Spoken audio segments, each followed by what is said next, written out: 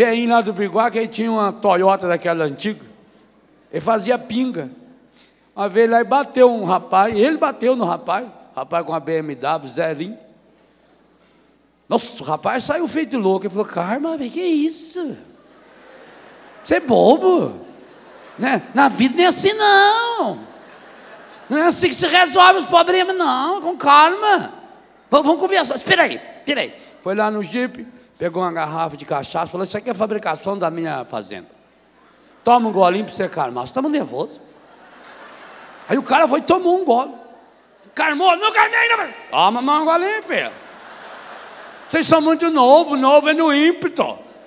Agora, só porque eu sem ver aí, eu entrei com a minha Toyotinha aí nesse carro, você não sei como é que a gente chama isso, ó. Só porque deformou a frente todinho do seu. O que é isso, rapaz? Toma um golinho. Ah, os problemas não é assim, não. Não precisa se agitar.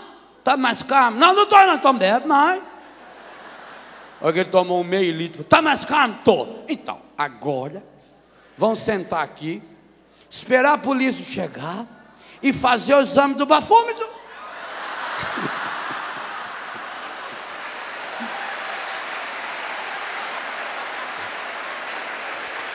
A polícia, a polícia que vai dizer quem está errado. Não vou falar nada.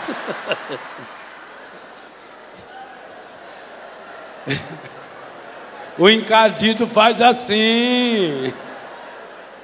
Então, a pessoa na hora do desespero, quando ela começa a gritar, a berrar, ela não sabe, gente. O encardido é igualzinho esse velhinho. Ele vai te dando combustível para a sua derrota.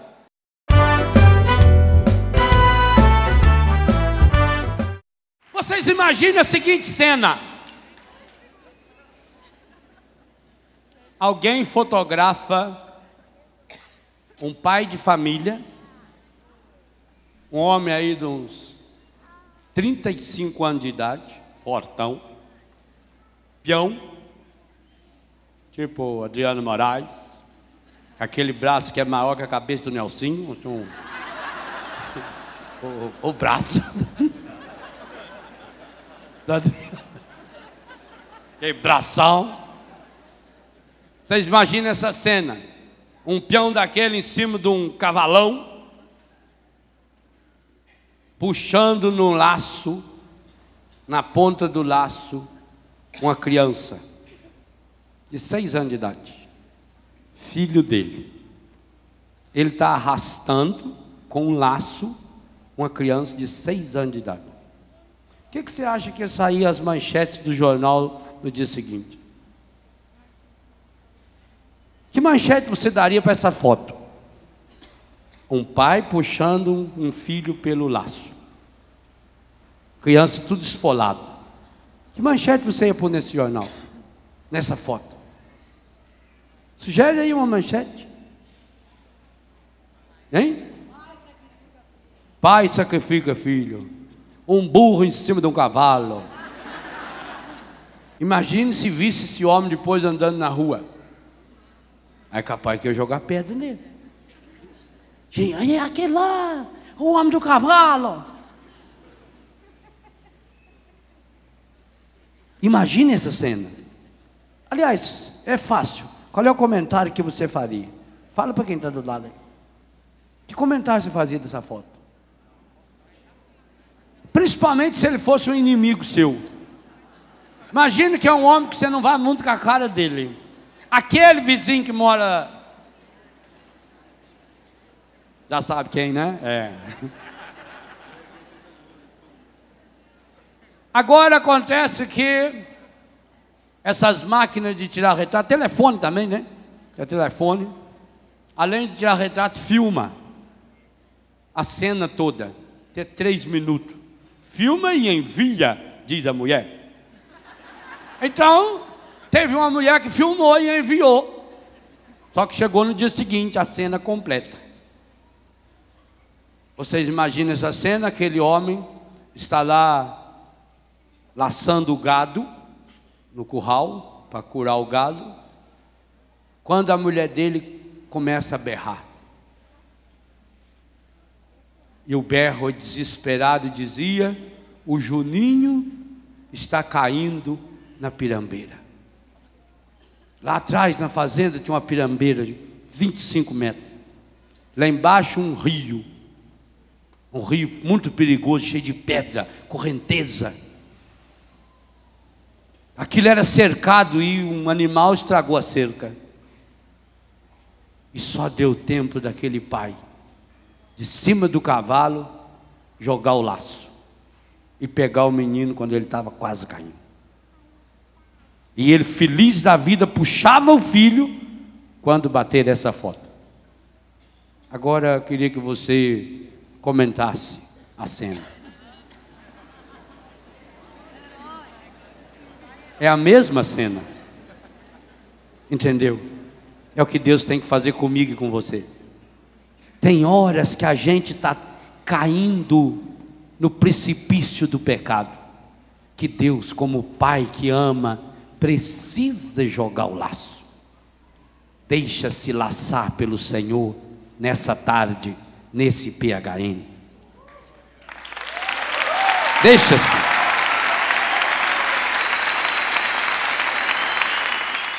Aquele instante será doloroso, será. Talvez até o menino tenha quebrado um braço. Porque o pai, graças a Deus, sabia laçar e sabia laçar bem. Talvez até vai ficar uns arranhões que vai levar algum tempo para cicatrizar. Talvez tenha quebrado uma perna. Talvez até quebrou uma costela com a força do laço. Mas o pai está feliz demais. E a mãe então? E a felicidade daquela mãe? Vocês imaginam se fotografasse a mãe pulando de alegria enquanto isso. Qual é o comentário da mãe? Assim acontece na vida. Por isso que Jesus diz: não julgar nunca. Nós não sabemos. Nós não sabemos o que levou uma pessoa a estar lá. Eu vejo pelos filhos e filhas que Deus me deu, mais de 300. Nós não sabemos o que leva um jovem, o que leva um rapaz e uma moça a um buraco desse. Levanta-te, saia desse buraco, que desse marasmo, dessa preguiça.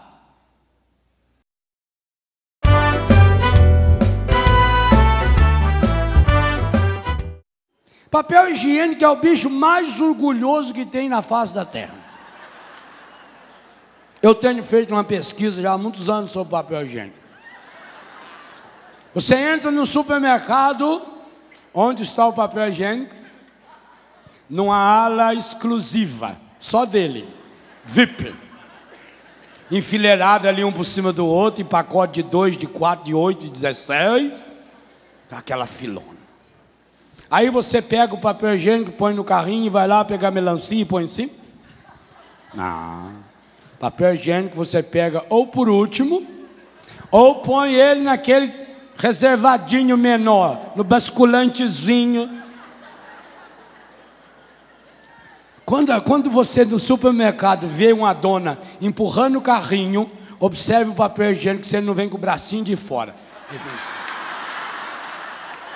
Ele tem cara de orgulhoso, é impressionante. Olha nele, para depois não falar. Aí ele fica o bracinho de fora. Na hora de passar na conta, ele também é o mais orgulhoso. Já, o, o molequinho lá já põe ele à parte, num outro sacolinha. Ele vai rindo. Ele não se mistura igual com as latas. É, não. Ele se.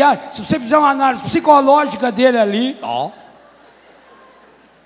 Quando vai pôr no, no automóvel, põe tudo embaixo. Ele não. Ele vai por cima. Charmoso. Pega ele com cuidado, leva no banheiro. Lá ele tem um guarda-roupinha só dele. Fica lá. Fechadinho lá, bonitinho. Ele, ele vem com a camisinha própria dele, cada um pra, cada um tem o seu. E dali, ah, ele vai pro, ele vai pro trono.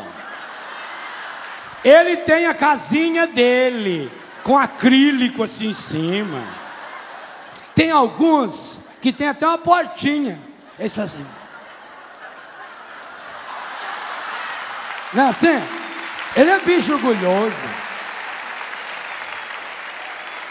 Papel higiênico é muito orgulhoso. Você entra num banheiro nossa. Da mesma cor, tudo certinho. Ele vem picotado. Essa é uma área da minha pesquisa que está difícil de achar. Quem foi que picotou o papel higiênico naquele tamaninho? Ainda não consegui. Porque nem para limpar o nariz aquele tamaninho dá. É muito pequenininho, tinha que ser assim, né? pedaço maior. Tem alguns que está escrito assim, perfumado dos dois lados. Eu não entendo, para quê? Também não conheço ninguém que fique cheirando papel higiênico. Então ele está lá no troninho. Você toma cuidado quando vai lavar o banheiro, tira ele para não pingar, né? Ele é. Aí chegou a grande hora dele. Depois que usou o cuidado. Tem gente que não tem o trabalho nem de amassar ele. Joga lá de qualquer jeito, assim, com, com o carimbo aparecendo ainda. Você tem nojo do próprio, do que o seu usou, ou não? Pois deixa de ser papel higiênico diante do cardíaco, seu bobo. O mundo adora você igualzinho nós adoramos o papel higiênico. A hora que o encardido usar você, ele vai fazer igualzinho você fez com o papel higiênico. Joga no lixo, porque ele não sabe fazer outra coisa. Você não nasceu para ir para o lixo.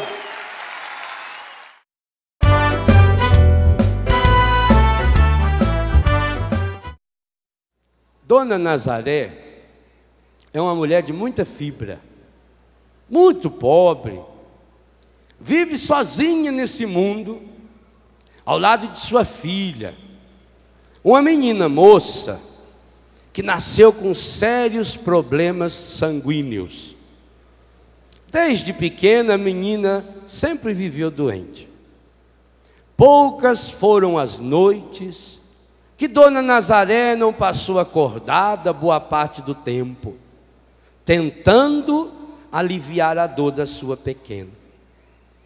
Além das muitas dores que sentia em todo o corpo, a menina tinha uma fraqueza tão acentuada que a impedia de fazer até mesmo os serviços mais simples. Por ter que cuidar da filha e sendo sozinha no mundo, Dona Nazaré vivia de uma pensão de meio salário mínimo conseguida a duras penas, graças à ajuda de um vereador da região. O dinheiro mal dava para comer, quanto mais para comprar os remédios, cada dia mais necessários e mais caros. A menina vivia à base de remédio caseiro e do cuidado primoroso da bondosa mãe. Infelizmente, com o passar do tempo, o problema da menina foi piorando. Naquela manhã, depois de uma noite inteirinha ao lado da filha, Dona Nazaré não teve outra saída, senão ir até Itajubá, a cidade mais próxima, para ver se conseguia alguma ajuda.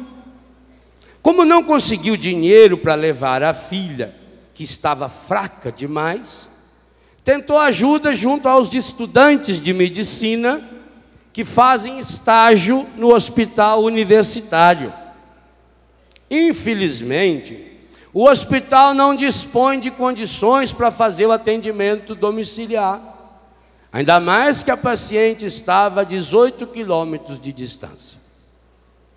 Dona Nazaré não desistiu, mas não desiste. Foi até a Santa Casa quem sabe ali encontraria um médico que pudesse ir até sua casa para tentar curar sua filha. Também lá não conseguiu nada, a não ser a promessa de que se trouxesse a menina, tentariam dar um jeito de interná-la. Mas infelizmente, não teriam como deslocar-se até o interior. Ela ficou pensando. Para ir até Delfim Moreira, pedir a ambulância da prefeitura, era uma viagem fora de mão. Quase impossível. O jeito era trazer a menina para a Santa Casa de Misericórdia de Itajubá. Nasceu no coração daquela mãe aflita um raio de esperança. Quem sabe conseguiria alguém que ajudasse a trazer a menina? Decidiu voltar para casa e pedir ajuda aos vizinhos. Pensou especialmente no japonês, um plantador de arroz que tinha um jipe e de vez em quando as presenteava com meio saco de arroz recém-colhido. Quando voltava ao mercado municipal, que tomaria o ônibus ou pegaria uma carona, Dona Nazaré passou em frente à igreja matriz Nossa Senhora da Soledade. Como boa mineira, entrou para rezar um pouco. Dentro da igreja tinha um grupo de animados jovens, rezavam, cantavam. É um grupo carismático. Por alguns instantes, Dona Nazaré acabou se esquecendo da sua filha doente. A música daqueles jovens era bonita demais. E Dona Nazaré foi se misturando ao animado grupo. Depois de algumas suaves canções, os jovens começaram a rezar. Cada hora era um que fazia uma oração espontânea. Lindas e profundas orações. Dona Nazaré se sentindo motivada, e talvez até mesmo contagiada pela fé daqueles jovens, quase da idade da sua filha, também se dispôs a fazer uma oração. Claro que os jovens ficaram felizes e acolheram com muito carinho a sua disposição. Mas, quando a mulher começou a oração, alguns dos meninos tiveram que se segurar muito para não cair na gargalhada. Que oração mais estranha aquela mulher estava falando, fazendo. Ela falava com Jesus como se fosse um entregador de pizza, pensou um dos meninos. Quem será que ela pensa que é Jesus para falar desse jeito com ele? Questionava intimamente uma das coordenadoras do grupo. A mulher começava a rezar com devoção, a oração dela: Senhor Jesus, Olha, sou eu, a Nazaré. Não sei se o senhor se lembra, sou lá do Biguá. Muitas vezes, já conversei com o senhor lá na igreja de São Benedito, lembra? Pois é, Senhor Jesus, o problema da minha menina está cada vez pior. Essa noite ela não pegou os olhos nem um minuto, eu também não. A pobre da coitadinha gemeu a noite toda virava de um lado para o outro, suava feito uma condenada. Não sei como ela está lá agora. Vim aqui para ver se achava um médico para ir em casa consultar ela. Mas os médicos não podem ir. Se fosse o doutor Gaspar, eu sei que ele iria. Que Deus o tenha. Lá na Santa Casa, mandaram eu trazer a menina. Como eu vou conseguir fazer isso? Ela está fraca demais. Não temos dinheiro para alugar uma ambulância. Até pensei em pedir ajuda para o seu Toshio, aquele bondoso plantador de arroz. Quem sabe ele traz a menina. Mas agora eu estou aqui, senhor. Eu queria pedir, já que o senhor está em todo lugar, o senhor bem que podia ir até lá em casa curar minha filha. Não custa nada. O Senhor sabe e pode. Os jovens estavam estranhando aquela oração. Dois rapazes dos mais novos, não conseguindo segurar o riso, chegaram a sair da igreja. Onde já se viu uma pessoa rezar desse jeito? Até é falta de respeito falar assim com Jesus. Ela nem louvou o Senhor, não recitou nenhum versículo da Sagrada Escritura. Ela não sabe rezar com certeza nunca fez uma experiência de oração. Sua oração estava atrapalhando o grupo. O grupo estava indo tão bem, concluiu um dos rapazes que tinha saído. Dona Nazaré continuou rezando. É verdade. O senhor, num instantinho, podia ir lá em casa, curar a menina e já voltava. Não é difícil chegar na nossa casa, não. O senhor pega a rodovia que vai para Aparecida do Norte. Lá eu sei que o senhor conhece bem. Na ponte de Santo Antônio, o senhor entra rumo da Fimoreira. Só que na hora que chegar na água limpa, bem em frente à fábrica de queijo, o senhor vira para a esquerda, passa a ponte e continua. Depois da ponte não vira para a direita, não. Lá vai para o mosteiro de Serra Clara. Minha casa fica para o outro lado. Então o senhor passa a ponte, segue reto. Em frente sobe um morrinho meio pesado e já vai virando para a direita. Logo o senhor já chega lá na estação, onde antigamente a gente pegava o trem. Não é lá não. Lá tem uma placa com o nome Biguá, mas o Biguá é mais para cima.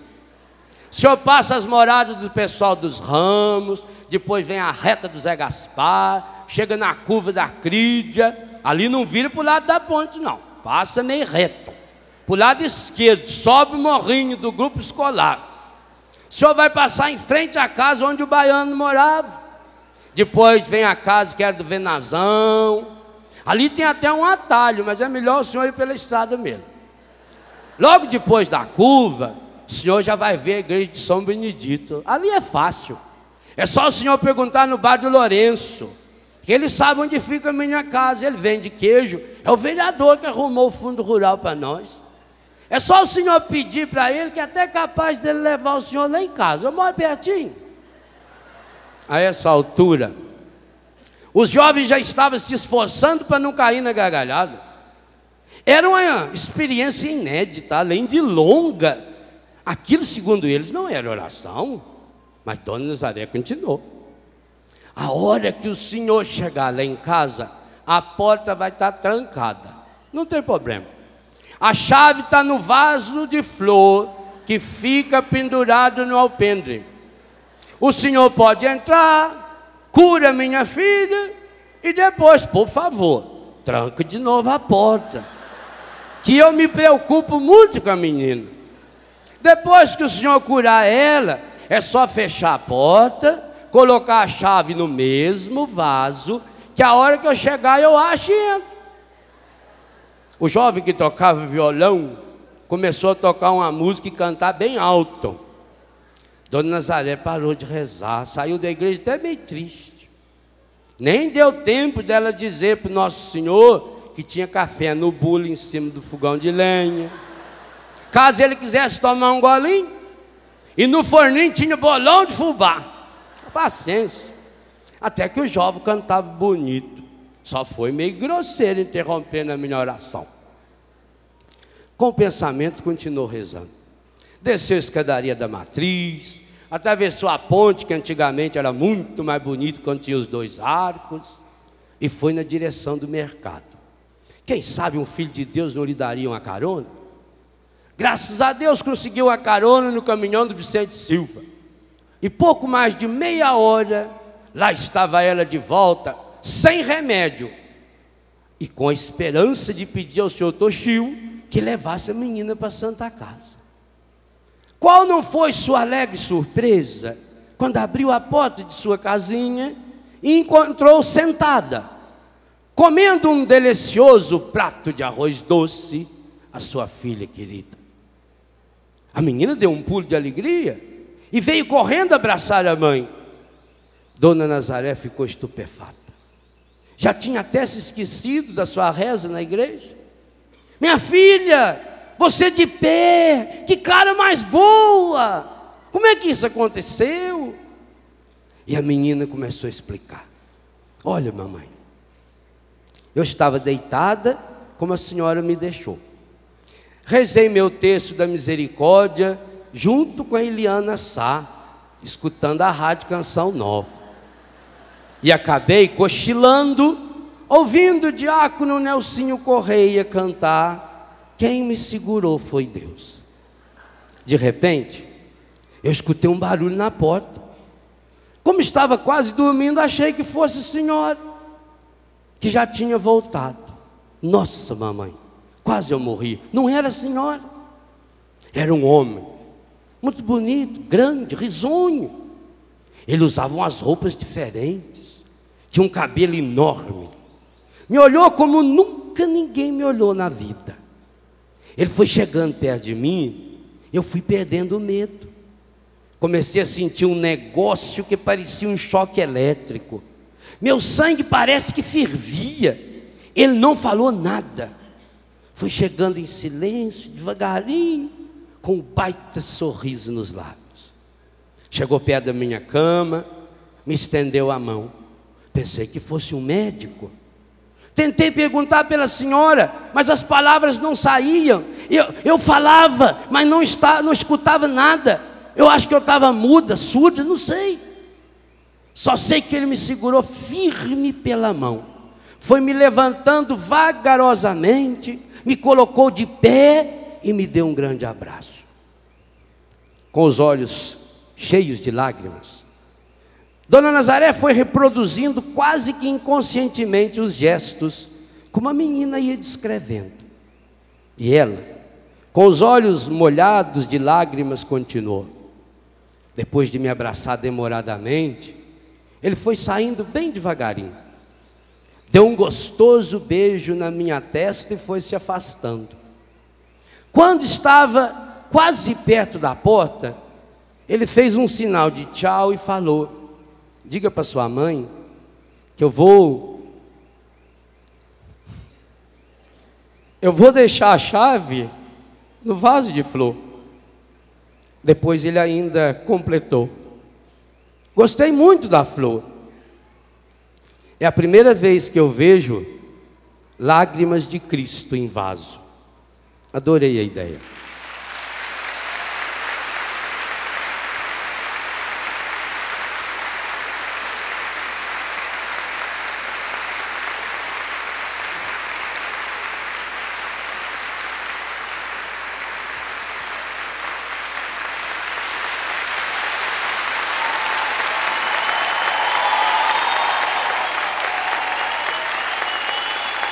Claro. Nenhuma das duas conseguiu achar palavras para manifestar a sua gratidão a Jesus. A única coisa que fizeram foi buscar aquele vaso de lágrimas de Cristo, colocá-lo sobre a mesa, perto do rádio, beijá-lo com um carinho quase sacramental. E olhando o pequeno crucifixo na parede, fizeram chegar até o céu uma linda oração de louvor. Muito obrigado, Senhor. Viu? O Senhor achou direitinho. Eu não falei que era fácil? Obrigado mesmo. Eu tinha certeza que podia contar com o Senhor.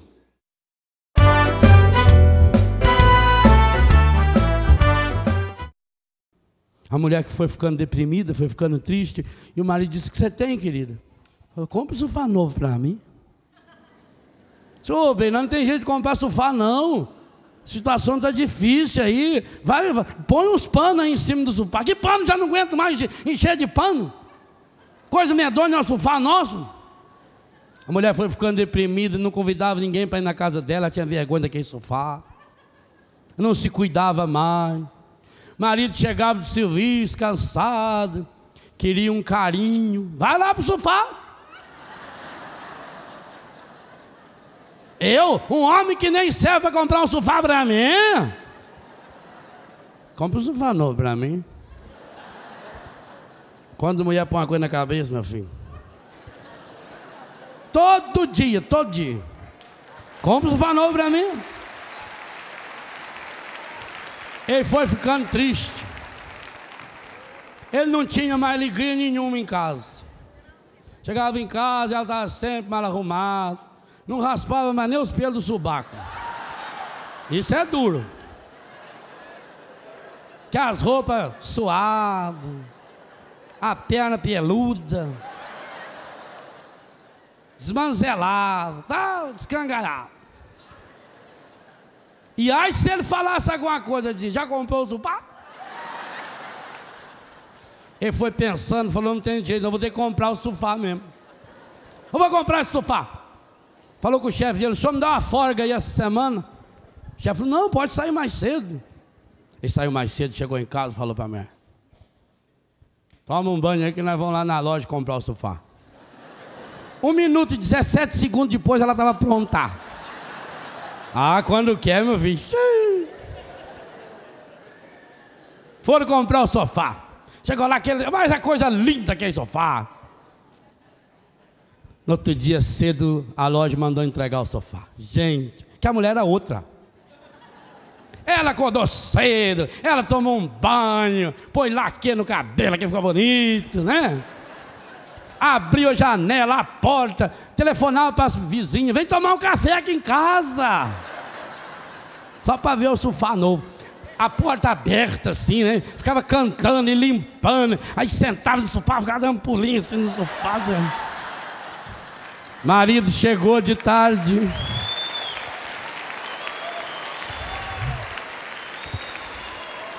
Marido chegou de tarde. Ela tinha feito uma janta especial. Jantaram. Foram ver o resumo da Copa. Não viram. Foi uma beleza ali no sofá. Começaram com a oração dos 15 graus. Que eu já ensinei para vocês, né? Agora tem que praticar. Aprendeu? Então não tem problema. No dia seguinte, esse homem era o homem mais alegre, disposto, foi trabalhar alegre, feliz. Falou para os colegas dele: Que rapaz, se, os governos fazem propaganda de remédio? Ah, sofá novo! Nada cura melhor um casamento que sofá novo, velho.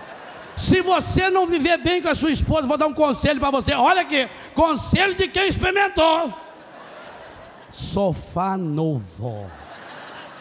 Rapaz do céu! A minha mulher é linda, a minha mulher é maravilhosa. Ela estava escondendo aquilo atrás do sofá velho. Que maravilha, que, que, gente, a alegria chegou naquela casa, aquele matrimônio era felicidade, e ele louco para chegar de tarde logo em casa de novo e rever o sofá, né? Aquela felicidade, aquela alegria. Passou uns 15 dias, chegou em casa, ela estava triste. Falou, o que houve? Ela falou, repare o sofá. Falou, o sofá é lindo. Foi claro que é lindo, eu que escolhi. Olhe bem para ele. Falei, mas ele é bonito. Homem não enxerga as coisas. O tapete não combina com o sofá. E por que você não comprou um, um, um sofá que combinasse com o tapete? Porque esse tapete está fora de moda, agora não tem mais. Compra um tapete novo para mim. Falou, Virgem Santíssima, nós nem terminamos de pagar o sofá. Compra um tapete. O que, que adianta? O que, que adianta ter um sofá novo? Agora, uma colega minha que vê um sofá bonito desse, vê que um tapete, tapete, vê, não quer compra um sofá novo. O que, que adianta? A mulher trabalha, trabalha, trabalha, faz tudo que eu preciso. Aí que pega, vocês compram. Compra um tapete novo pra mim. Falou, ih, minha Nossa Senhora, eu não tenho escapatória. Falei, então você passa lá na loja, eu vou telefonar para eles desdobrar a prestação. Que agora tudo é fácil, é tudo em 10, 15 vezes sem entrada, sem juros. Só que o preço é 15 vezes mais caro. Aí vem um detalhe. que alegria. Aquela sala é uma coisa linda. Aquele sofá bonito, aquele tapete combinando. Tinha, tinha umas manchas assim no tapete, combinava o cabelinho do sofá. Ele chegou, ela estava sentada no tapete, com a cabeça assim encostada no sofá. Vem aqui, velho. Senta aqui. Ah, respira. A felicidade custa tão pouco. Ai, meu bem, tá lembrando nosso tempo de namoro. Que maravilha. Eu te amo. Eu também te amo. Eu te amo você. aquela felicidade, aquela alegria. Passou uns dias, ela estava triste. Como é Nosso Senhor. Que será dessa vez? Cortina. Agora não usa mais essas cortinas floridas. Agora tem que ser a cortina de uma cor só com negócio de lista assim, para você puxar aqui para lá. o tom tem que ser pastel, tem que contracenar. Compra a cortina nova para mim. E se não comprava a cortina? Estou deprimida. Toma lá o Lexotan, Prozac, né, Pranil, Cardozan. Comprou a cortina. Aí depois teve que tocar a televisão. Porque que, que adianta você ter um sofá novo, bonito, com tapete e televisão daquelas que tem que levantar para mudar o canal, dá até problema na coluna da gente. Eu quero uma televisão que tenha o controle do terremoto. Que a gente perde o botão, tem que ser sozinho lá. Compra uma televisão nova para mim. Faz, faz com cabo de vassoura. Pega cabo de vassoura, muda lá. Dá certinho, mais barato, né? Televisão, DVD, o lustre, a sala estava completa, agora é o quarto. Agora tem que comprar uma cama com um colchão especial, com, fazer um close para trocar de roupa. Depois de velho tem que trocar roupa nos close, não tem mais lugar para a sapateira, o outro para pendurar isso, para pendurar aquilo, o banheiro, e vai trocando, vai trocando. Vai. A cozinha, meu Deus, quando chega na cozinha, até comprar aqueles negócios aqui, porque tem umas peças assim que tem 18 funções descasca batata, cebola, frita ovo, faz laranjada, cenoura. Só que você desmonta uma vez, nunca mais monta aquilo, porque o tanto de peça que tem, tem em cima da mesa. Tá lá, não sabe nem pra quê. Aí põe exaustor, compra micro-ondas, compra, compra geladeira, compra isso, compra um forninho que agora ele limpa sozinho, assim. Avisa a hora que tá sujo, vem limpar, vem limpar. Vem tudo moderno, tudo da mesma cor, tudo branquinho, tem que combinar, né? Cor de rosa, bonita, minha família. Nossa, que beleza, que felicidade. Muda tudo, agora a máquina de lavar, aquela não presta mais, aquela que girava, agora tem que botar, tem que. Tudo, muda tudo, compra tudo. Dois anos depois, casa nova, carro novo, tudo novo. Está deprimida. Tá, então eu tenho que ir no médico. Isso é depressão. Se não vai na mãe de santo. Para isso aí é mal olhado. Ah, porque o meu marido é tão bom, ele comprou um sofá novo para mim. Mas tem, tem, uma, ah, tem uma vizinha mesmo, eu acho que é a vizinha minha. E começa a pôr minhoca na cabeça. E começa a tomar esse tanto de remédio, garrafada e mais não sei o quê e vai na fusa, queima incenso na casa, e queima incenso, põe estátua do Buda, põe pirâmide, e põe não sei o quê, e passa a noite inteira assistindo porcaria na televisão e comendo, vai engordando que é uma coisa medonha, vai ficando aquela pantufa, hein? e depois toma remédio, toma isso, toma aquilo. Um dia o marido chegou, ela estava deitada no sofá morta. E sabe o que é terrível nessa história? Não é invenção minha, não. Essa história está acontecendo em tantas e tantas famílias que estão se matando porque estão buscando a felicidade fora. Eu quero a felicidade nas coisas e nada nem ninguém pode nos fazer feliz, não tem como.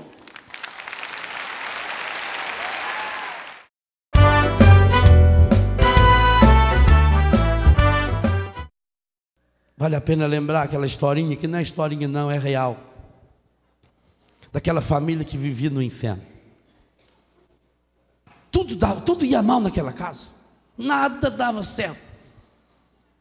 Até que um dia o pai da família foi procurar aquele santo homem, monge.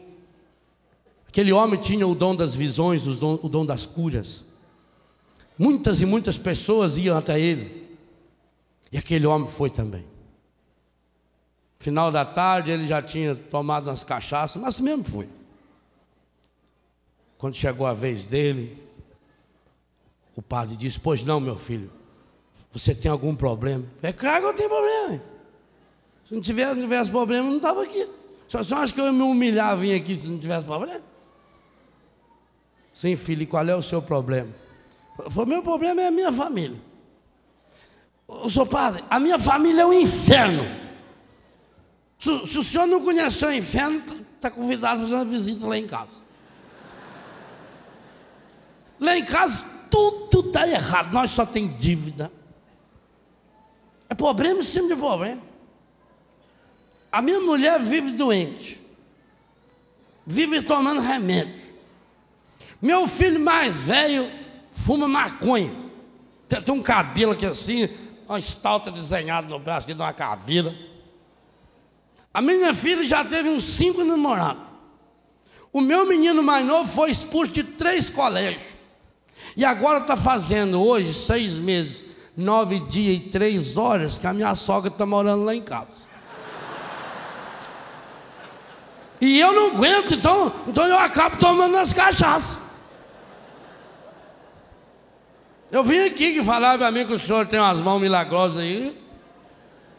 O senhor fazer uma reza em mim. Aí o padre pôs a mão na cabeça dele e começou a rezar. Falou, filho, estou tendo uma visão. O que, que o senhor está vendo?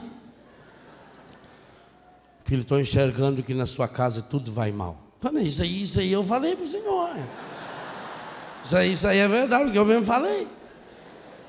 Filho, o problema é muito sério. Nossa, é, é tão sério que eu não, eu não sei se eu tenho coragem de falar. Ô, ô, padre, pelo amor de Deus. Pode falar que eu estou preparado. Não, se for o que eu estou pensando, o senhor fala que eu mato ela e ele. Eu mato sim. Que é, é isso que ela não quer eu. Não, não é nada disso, não. Filho, dentro da sua casa vocês estão cometendo o maior pecado da face da terra. Por quem é, irmão? Vocês estão cometendo. Mas que pecado é esse? Filho, eu não sei se eu posso falar, é um pecado. Pelo amor de Deus, o senhor vai me deixar mais nervoso?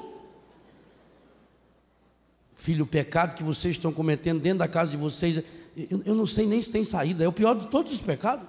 Então, pelo amor de Deus, só fala lá que não é resolve. Eu não sei se eu deveria, mas eu vou falar. Dentro da casa de vocês, o maior pecado que vocês cometem é não reconhecer Jesus Cristo que vive lá. Jesus Cristo vive lá em casa. Vive. Filho, Deus é amor. Deus mandou Jesus Cristo para salvar a humanidade. A humanidade matou Jesus. Isso aí eu vi mesmo no filme da televisão. Mataram ele lá. Mas Deus mandou Jesus Cristo de volta à terra. Eu não estou sabendo, não. Mandou. Para não ser eliminado, ele veio disfarçado. Ah, então, se é disfarçado, aí como é que eu ia saber? De fato, filho. E ele está disfarçado em um dos membros da sua família. O, o senhor está falando que lá, lá, em casa?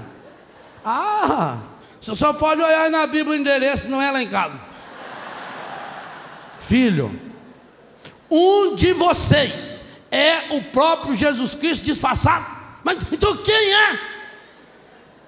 Ah, aí que está, vocês têm que descobrir.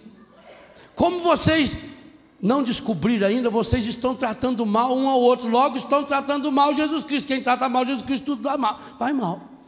É isso então? É, filho. Eu vou resolver esse problema. Foi para casa, reuniu a família. Falou, gente, nós temos aqui um problema muito sério para resolver. Eu tive essa tarde umas santas conferências com os santos monges das Santas Mãos, e ele falou que um aqui é o próprio do nosso Senhor Jesus Cristo que está disfarçado aqui em casa. Quem é que se apresente agora? Agora. Nem mais. Quem é? Pode falar. Eu tô, eu tô preparado pro pior, pode falar. Quem é? Falei, ih, o pai bebeu. Não, não, eu, eu tomei um golinho sim, mas eu estou consciente do que eu estou falando. Quem, quem é? Quem? Pode, pode, pode desembuchar logo. Ninguém se apresentou. Ele telefonou pro Alô, Samões? É eu? É. Olha, eu fiz uma pesquisa aqui em casa. N não é aqui não. Houve um engano do. do... Ah, é? Sei. A aqui. Sei. É. Então, então tá certo. Ele falou que é aqui mesmo. Esse homem nunca enganou.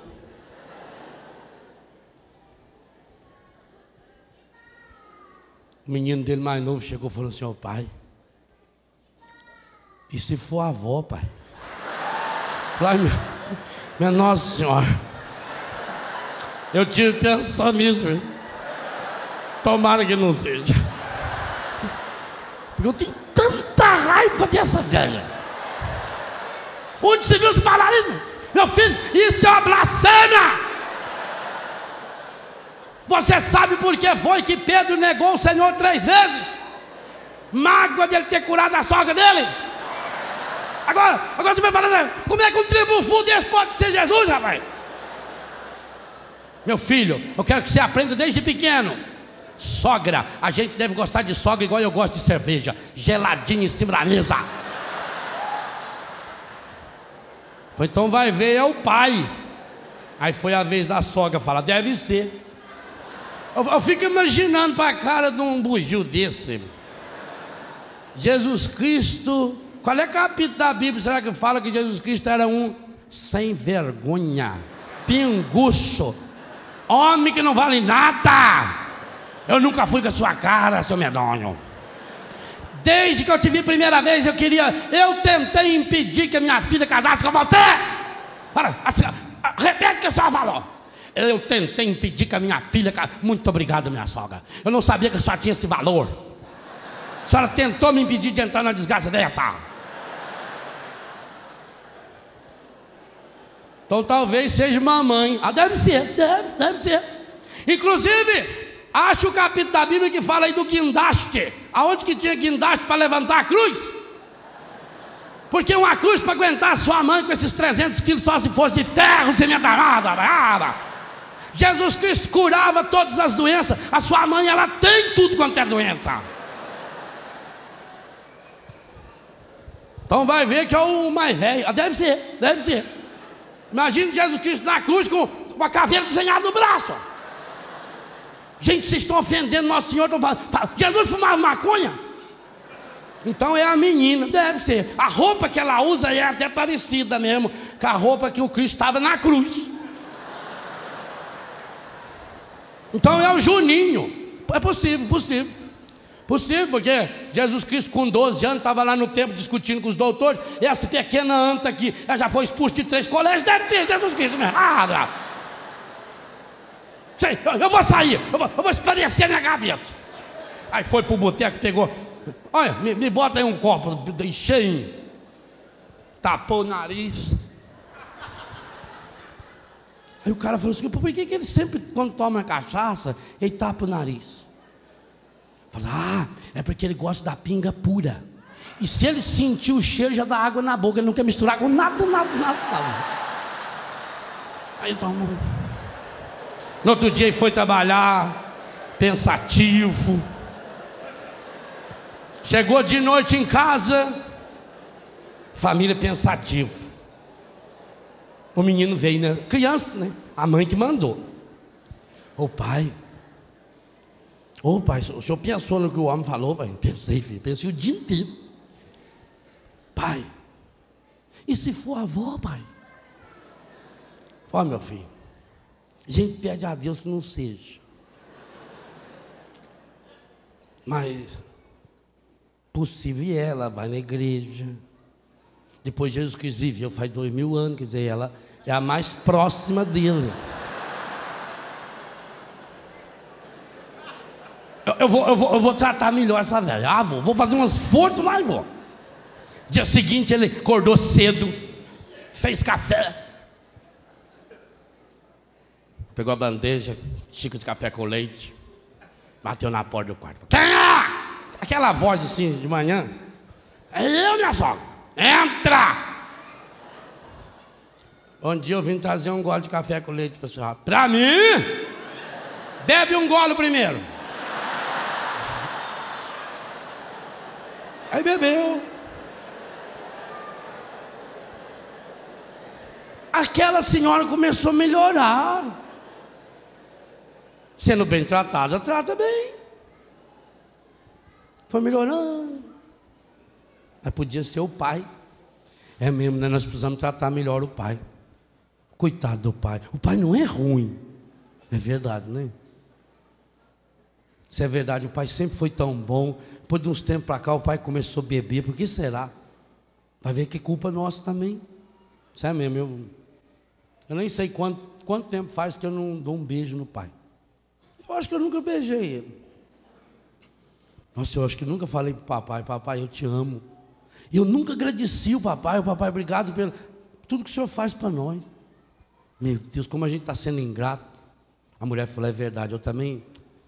A gente vai ficando preocupado com as coisas, essas doenças. Eu preciso tratar melhor ele. Ele gosta tanto do franguinho assado. Faz tanto tempo que eu não faço. Coitado, vai ver que é por isso que ele fica para os botecos. Porque chega em casa que ninguém trata bem dele, começaram a tratar melhor o pai. E a pessoa sendo bem tratada, trata bem. Mas podia ser a mãe. Isso é verdade, né? Coitada da mamãe. Mamãe trabalha feito uma condenada. A gente só reclama da mãe. Acho que eu nunca agradeci a mãe. Obrigado, mãe, pela comida. Obrigado pela minha roupa. Tudo arrumadinho. Meu, chega sábado, nós sai tudo, a mãe fica sozinha. Quantas vezes eu cheguei, a mãe estava com os olhos cheios de lágrimas. Oh, mãe, quanto tempo que eu não falo assim, mãe, eu te amo, mãe. Obrigado, mãe. Obrigado, mãe. Isso é verdade. Eu estou tratando sua mãe também. Para ver que é por isso que ela precisa desse tanto de remédio. Ô pai, quanto tempo que o senhor não dá um abraço apertado na mãe? É verdade, viu? É, mas se ela for Jesus, ah, é. começaram a tratar melhor a mãe. E o menino? Por que será que ele se droga? Marido e a mulher conversando, a mulher falou: Sabe que eu escutei uma palestra do professor Felipe Aquino? E ele falou na televisão: os defeitos dos filhos são filhos dos defeitos dos pais. Então, problema do rapazinho aí vai ver que é. Eu, meu não, eu nunca dei maconha para fumar. É, mas quantas vezes você saiu com ele? Você, como pai, pôs a mão no ombro dele, perguntou para ele se está tudo bem? É, não, também. Também você quer tudo de mim? Tudo? Não, estou perguntando uma coisinha só. É. Então tem que tratar melhor a menina, é verdade.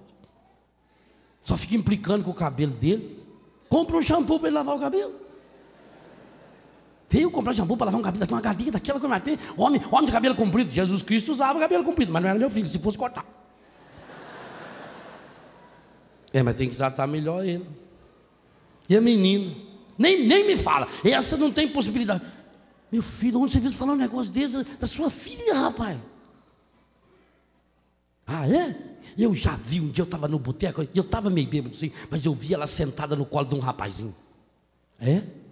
E sabe por que, que ela estava sentada no colo do rapazinho? Porque você, como pai, há quanto tempo não pega no colo?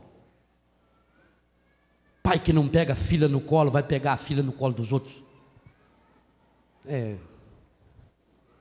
Custa você dizer para ela que ela está bonita. Mas ela não está bonita, que cabelo dela, para que, para que foi pintar aquele cabelo de laranja? Mas fala, mente. Essa mentira é boa, é santa. Fala que está bonitinho. Não será que está bonito? Fala que está bonitinho. Precisamos tratar melhor a menina, é, é verdade. E o pequenininho, isso aí é um caso perdido. Que isso? Que caso perdido o quê? Só tem 12 anos. Em Cristo nós vamos conseguir, ué. Se é o Cristo disfarça. E se ele for o Cristo disfarçado, é mais fácil ainda. Aí que consegue. Ah, isso é verdade. Então, ué. Então vamos fazer nossa parte. Vamos encher as talhas aí. O resto. Cada um naquela casa começou a tratar o outro com respeito. Bom dia. Obrigado. Valeu. Que bom que você veio. A gente começou a mudar tudo naquela casa. A mulher já não precisava mais daquele tanto de remédio. O marido nem passava mais no boteco para beber. Ele saiu do serviço, ele queria vir embora, porque na casa dele ele sabia que tinha uma família que estava esperando. A menina começou a usar umas roupas mais decentes. Sabe qual é a maior alegria dela? Morder a orelha do pai. Sentava no colo do pai, ficava mordendo a orelha do pai. E o pai brincava, e aquela menina de 18 anos parecia que tinha oito. O pai voltou a jogar bola com o rapazinho. A sogra, a mãe, começou a ajudar na despesa da casa com a sua aposentadoria. Agora se sentia útil. Não era mais um traste inútil. A vida foi mudando. Junto, como não gastava mais com bebida, com remédio, com droga, com aquele tanto de apetrecho, foram economizando, foram pagando as dívidas. Foram selecionando o que, que precisava ser pago.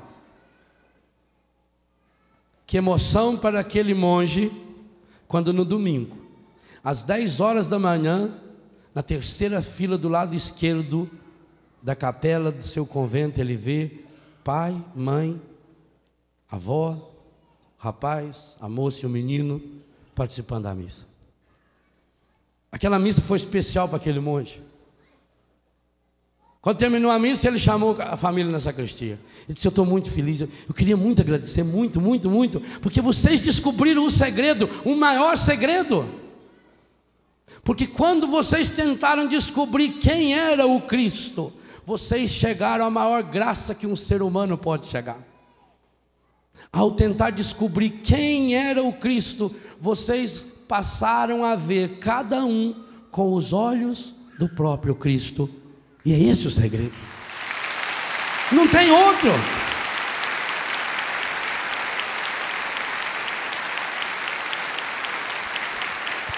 Sabe por quê?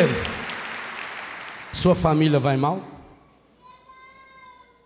Sabe por que as coisas não vão bem na sua casa? Sabe por que aquela gritaria, que tanto de remédio que tem lá? Aquele vídeo cassete erótico que você tem lá no quarto? Aquela revista que você precisa dela para achar que é homem? Jesus Cristo está disfarçado na sua casa. Lá na sua casa, na sua, na sua, na sua, na sua.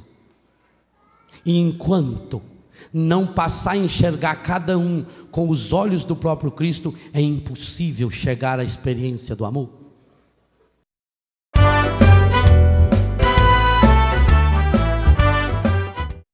Sabe a história daquele mineirinho que está dentro do avião? O mineirinho sentado dentro do avião, nunca tinha viajado de avião, sentado lá.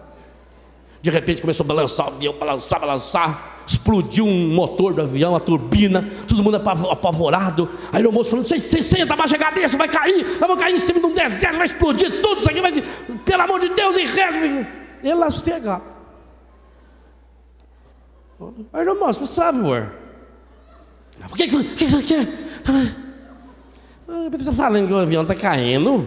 Está caindo, sim, está caindo, desesperado. Vai destruir tudo, vai destruir o avião. Vai, nossa senhora. Coitado do dono. Que prejuízo, não.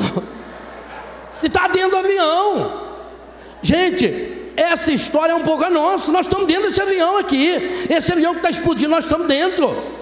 Eles estão nos colocando dentro do avião para jogar ele na torre, na torre que nós estamos construindo, que é a nossa casa. Eles estão colocando você dentro do avião para jogar você dentro da sua casa. Por isso que quem leva droga chama avião. Nós somos de Deus, mas é triste saber, estamos vivendo como se fôssemos do encardido. Estamos o mundo sem Deus, ele é capaz de realizar o péssimo. É preciso voltar para esse Deus.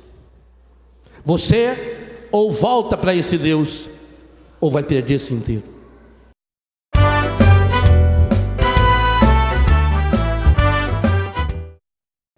O bêbado saindo de uma festa, indo embora para casa, cegado. Aí ele foi atravessar uma linha do trem. Você já viu linha do trem que tem aqueles pauzinhos batentes? Aí ele foi atravessar ele. Enfiou o pé dele na greta. Quase que o meu enfio aqui mesmo. Enfiou o pé dele na greta. Aí puxava o pé dele, vai, não quer sair. Gastagem, aí, o que será que eu... Daqui a pouco ele escutou.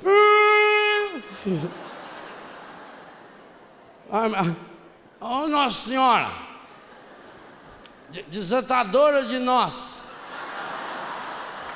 Judeu aqui. Oh, Nossa Senhora, minha perna quer sair daqui, Nossa Senhora. Judeu. E... Ó, o trem está vindo. Desata esse nó aqui. No, no, nossa Senhora. Olha, Nossa Senhora. A senhora ajudar eu tirar o meu pé aqui, esse gastalhado aqui. Oh, eu prometo. nunca mais eu, eu jogo baralho. Não jogo mais. É aqui, ó. ó. Pronto. Liberto do baralho. Tira, nossa senhora, olha o baralho lá. Já, joguei fora o baralho. Tô, liberto, nossa senhora. Não, não joga. Tira, tira eu não jogo. Tira, nossa senhora. Meu, meu pé tá aqui. Não sai. Ih, ai, nossa senhora. O, trem tá vindo lá, nossa senhora. Virgem de Minas. Tira, tira meu pé aqui, nossa senhora. Você já pensou se esse trem pega eu aqui, ó? Tira eu, ajuda, nossa senhora. Ô, oh, mãe, admirável. Eu, eu, eu prometo. Olha, se só ajudar a tirar meu pé aqui, eu, nunca mais vou ser infiel ao matrimônio. Ah os preservativos aqui, ó. Já, já joguei fora. Eu prometo, olha lá, ó. Já joguei o baralho, já joguei fora o preservativo. Nossa, senhora, ajuda eu.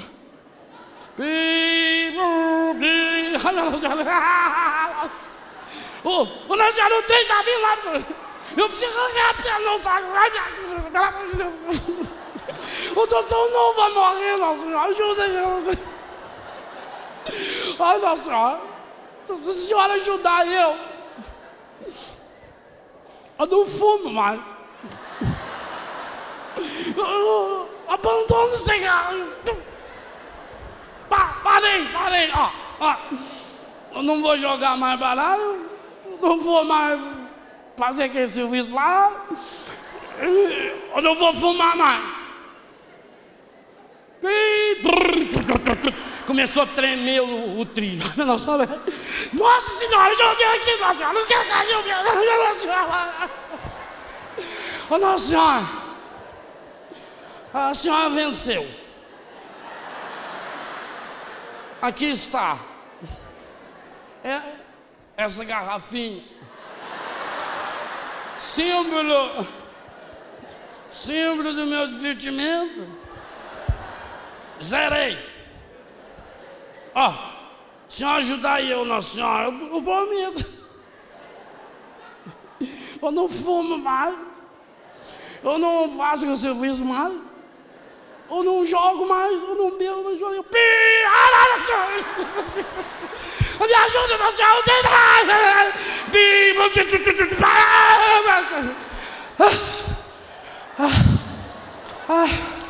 ah, ah, ah.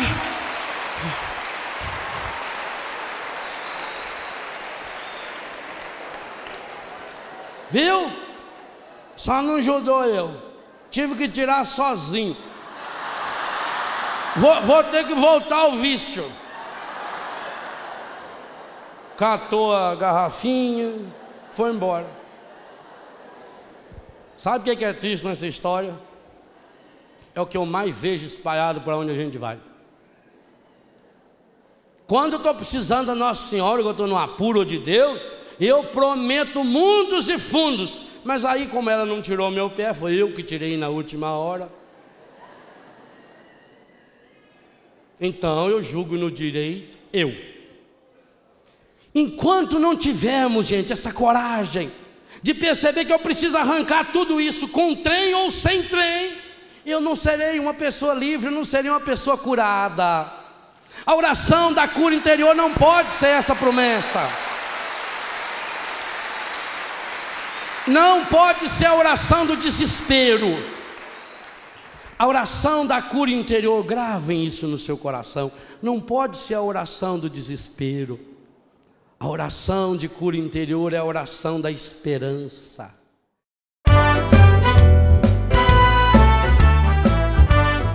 A mulher foi ao cabeleireiro, passou a tarde no cabeleireiro, viu na revista uma beleza de cabelo novo, corte. Foi na cabeleireira, a cabeleireira olhou, falou: Olha, com a senhora, para o seu rosto, como o seu rosto é meio cheinho, a senhora precisa de um cabelo que desfia as laterais. Suba um pouquinho aqui em cima, para a senhora ficar com o rosto mais alongado.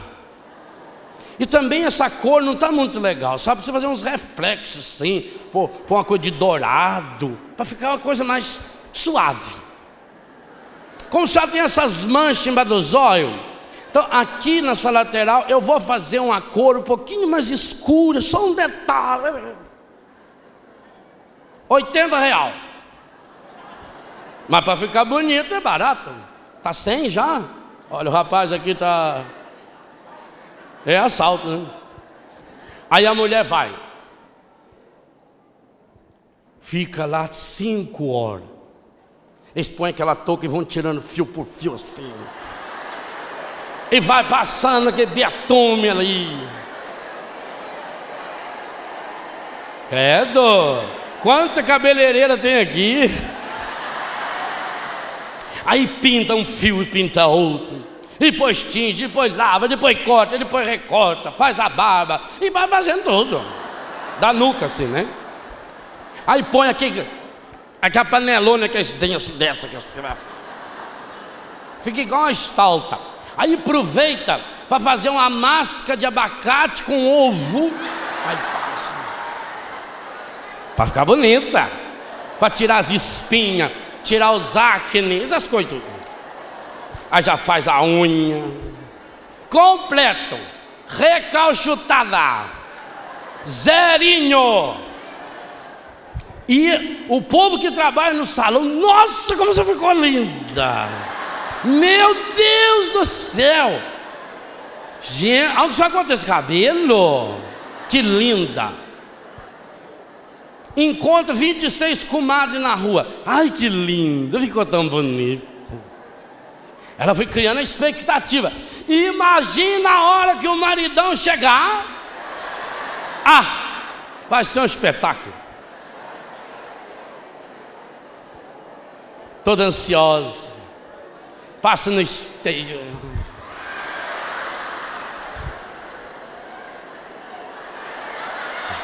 Arrumando, né? Fica bonito. Olhando o relógio, está nervosa. Aquele dia parece que demora para chegar. Marido chega, entra, vai direto para o banheiro, joga a cirola em cima da cama, o tênis do lado, lá de dentro grita: não tem toalha! Meu Deus, ele não viu. É assim, né? Ele não viu. Padre, a gente fica, padre. Uma tarde inteira lá.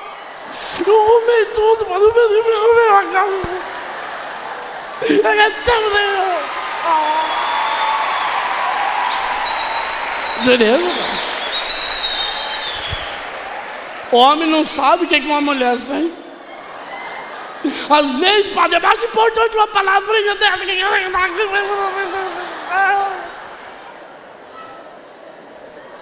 Ele não falou nada. Dia seguinte, ele acorda e dá uma cotovelada nela. Está na hora. Vai você, eu não tenho horário para trabalhar. Credo, que bicho que te mordeu? Ninguém. Bicho nenhum me enxerga. Se nem o meu marido me enxerga, como é que os bichos vão enxergar não? Credo, louco, hein? Passou mal a noite? Vai fazer um café. Se quiser café, você que vai beber. Começa agora. Acabou! Não sou mais empregado. Ele diz aqui, você quer fazer café, faz, não quiser, você fica aí dormindo o resto do dia. Por isso que tá uma baleia desse tamanho é que não para fazer. Foi trabalhar. Ele foi para o serviço morrendo de raiva da mulher. Ele está dentro do carro ali, ou no metrô, ou no, no, cavalo, ou na bicicleta, tanto faz. Não muda nada. Falando, mas meu Deus do céu, eu, eu trabalho, tudo, tudo que eu ganho é para aquela mulher, eu sou um homem direito, eu saio do serviço, eu vou para casa, quantos homens é que não valem nada, mas eu estou ali, eu estou firme. Agora hoje, meu Deus do céu, o que, que custava ela fazer um cafezinho para mim? Ela sabe que eu gosto de tomar um cafezinho de manhã. Está remoendo. E ela também, ela, aí ela levanta com raiva, vai lá, atrapalha o cabelo. Aí, 15 minutos depois, chega a vizinha.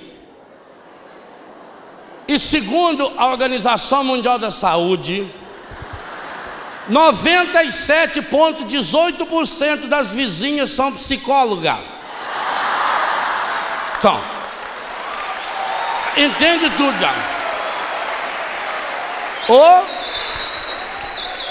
ou padre e freira, para dar palpite. Que foi, comadre? Foi nada, não. Problema aí. Ô, oh, comadre, se abre, que isso? Só está tão chateada. Gostei desse corte de cabelo senhora. É, e ele nem notou. Nem viu. Sei lá onde. Olha, precisa ver, comadre. Vê se não estou certo. Eu, eu terminei o serviço, arrumei tudo, limpei a casa. Eu fiz a gente, arrumei tudo certinho. Aí eu fui lá para fazer uma surpresa para ele. Fiquei lá, aquele, cortando aquele cabelo, escutando aquele as conversas do cabelo lá. Ele nem falou nada. Ele nem notou. Ô, oh, comadre, homem é tudo assim. Ó, oh, eu não queria falar nada com a senhora, não. Só sabe que a minha boca é um túmulo, eu não gosto de conversa, eu não gosto de fofoca. Mas quem podia dizer daquele, o seu Antonião, que morava na esquina, um homem tão bacana, né? 26 anos de casar, largar a mulher daquele jeito. Homem é tudo igual, mano. Começa assim. A senhora tem que ser mais firme com ele. O que, que adianta a senhora fazer as coisas bonitas? Eu garanto que isso aí é desculpa. Olha, a senhora escreve, depois me avisa. Para mim isso é desculpa que ele está inventando, porque ele está querendo arrumar uma desculpazinha para dar uma saidinha. Será, comadre? Ah, ah, comadre, gente não gosta de falar, né? Porque eu entendo a dor que a senhora está sentindo. Mas, verdade tem que ser dita. Aí o cara está lá no serviço. E ele está fazendo o quê? Remoendo. Ressenti. O que, que é ressentimento? Sentir de novo. Ficar remoendo. Mágoa. Magoar. É pisar. É você ficar mexendo naquilo, ficar cavucando. E ele está lá no serviço, ele não se conforma com aquilo. Por que, que ela não quis fazer um café para ele? Uma bobagemzinha de nada. E precisava falar tudo que falou. Ainda enfiar a sogra no meio, a mãe dele, coisa do passado. Aí ele está lá. Aí vem o colega. E começa a dar conselho. Que é isso, rapaz? Mulher é tudo igual. Mulher você tem que tratar com firmeza. Sabe o que é? Hoje está sobrando, mulher. Elas têm que saber isso, elas têm que valorizar o homem. Você é muito bobo. Você sai de serviço, vai direto para casa. Aí, tá vendo? Tá vendo? O que, que adiantou? Aqui, o melhor é o seguinte: hoje, quando terminar o serviço, você não vai embora, não. Vamos dar uma volta comigo aí, tomar uma cervejinha. Eu tenho uma colega aí, eu ligo para ela, chamo uma amiga dela. Gente, toma cervejinha, não tem nada demais. O que, que tem? Né? espairece um pouco a cabeça. Estão percebendo aonde o encardido está pulando? E ele está amarrando. Por que, que Jesus fez o chicote de corda?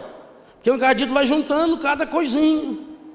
E aí, quando a pessoa fica remoendo, o encardido, que é especialista em acusação, ele é o pai da acusação, Apocalipse 12, 10. Dia e noite ele só fica fazendo é acusar-nos ele fica jogando combustível no seu coração. E aí você briga com a mulher o dia inteiro no pensamento. E aí você começa a recordar coisa ruim. Ah, é, mas também, sabe, aquela vez aconteceu isso e aquela vez aconteceu aquilo, mas não é a primeira vez. E a mulher também está brigando com o marido, sozinha. Ele não está perto. E ela está remoendo. E ela vai fazer uma coisa e chuta.